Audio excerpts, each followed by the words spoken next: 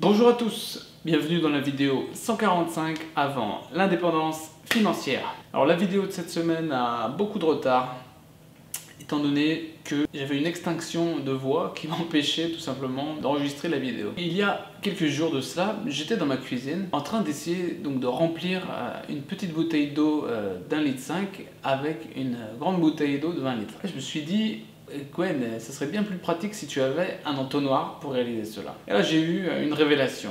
Il me faut un entonnoir. Le web marketing repose tout simplement sur un entonnoir qui fonctionne, c'est-à-dire que vos leads rentrent dans l'entonnoir, se transforment en prospects, puis en clients, et vous avez donc des outils pour convertir, comme par exemple votre lead magnet, votre tripwire, votre produit phare. Je veux un entonnoir. J'ai également pris conscience cette semaine qu'il faut que je produise plus de contenu de qualité, sous différents aspects.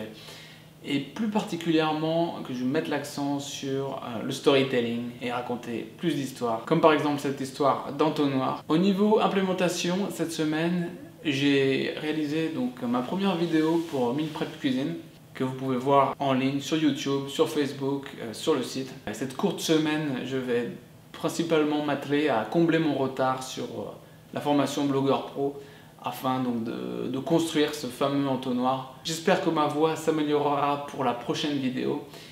Et en attendant, abonnez-vous, likez. À la semaine prochaine. Ciao